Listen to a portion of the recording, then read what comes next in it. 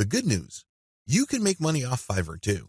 In fact, Fiverr has many testimonials of people claiming that their income on this platform has replaced their regular job's income and then some.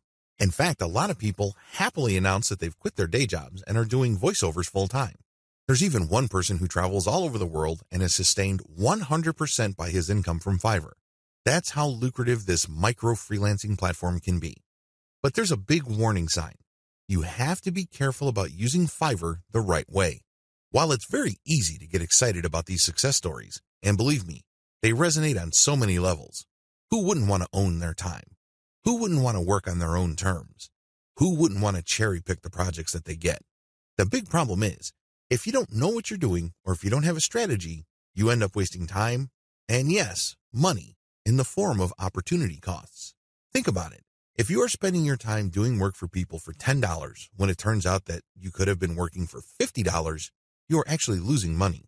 Now, this is different from a situation where you have spare time and you're simply trying to turn your spare time into spare cash.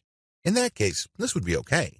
This is especially true if you're training yourself by taking on these jobs so you can level up in the future. But if you are looking to earn a full-time income, you have to learn how to use Fiverr the right way. This training teaches you six better ways to make money off Fiverr.